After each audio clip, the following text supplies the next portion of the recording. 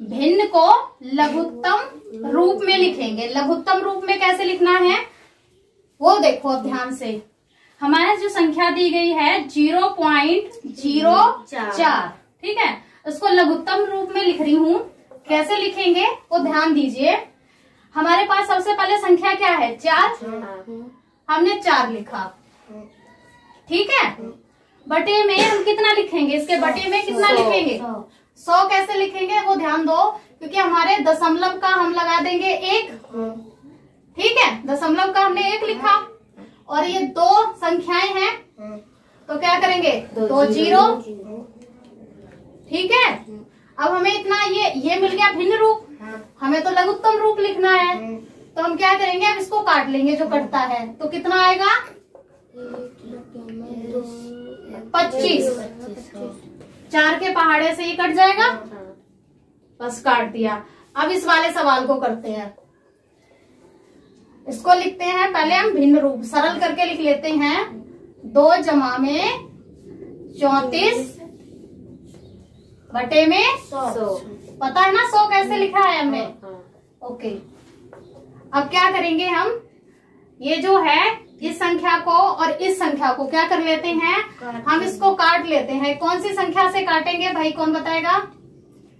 हम दो की संख्या से काट लेंगे। संख्या दो लेते हैं। ठीक है? दो से भाग कर देते हैं। दोनों संख्याओं को तो हमें कितना मिलेगा? ये दो है। दो को दो लिख लेते हैं।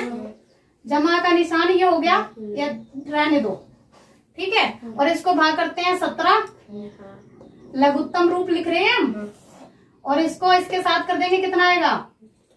पचास। यही हमारा आंसर होगा। ठीक है? अब अब तीसरे क्वेश्चन में देखो थोड़ा सा ध्यान से। यहाँ पे हम पहले इसको सरल करके लिख लेते हैं। सरल करके कैसे लिखेंगे भाई? कौन बताएगा इसको सरल करके कैसे लिखना है? तीन सौ बयालीस। या जैसे ये पॉइंट है तो ये तीन सौ बयालीस नहीं बोलेंगे तीन चार दो। ठीक है तीन चार दो लिख लिया। अब ये तीन संख्याएँ हैं तो तीन ज़ीरो। और पॉइंट का एक। एक। अब इसको काट लेते हैं। किस कितने से काटेंगे भाई? ये भाग करेंगे कितने से कट जाएगा ये?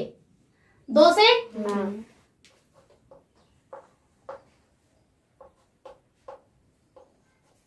काट के भाई कौन बताएगा? आप इसको भाग कर लेते हैं। एक, चौदह हो गए सात, और ये एक, और नीचे हज़ार है तो पाँच सौ। हो गया? ये आप लोगों को मैंने ये जो भाग में लिख के दिखाया है ना कि ये दो से भाग किया वो कैसे? जैसे मैं डायरेक्ट पहले आप लोगों को सामने जब करती थी क्वेश्चन तो क्या करती थी? मैं ऐसे बोल देती थी कि दो के पहाड़े से इसको काट लो इसको काट लो। आ जाते थे? बोल देती थी? तो थोड़ा सा कंफ्यूज होते थे कि ये वाला कटेगा या नहीं कटेगा। इसलिए मैंने क्या किया? सीधा भाग करके कि दो से भाग करके लिख दिया।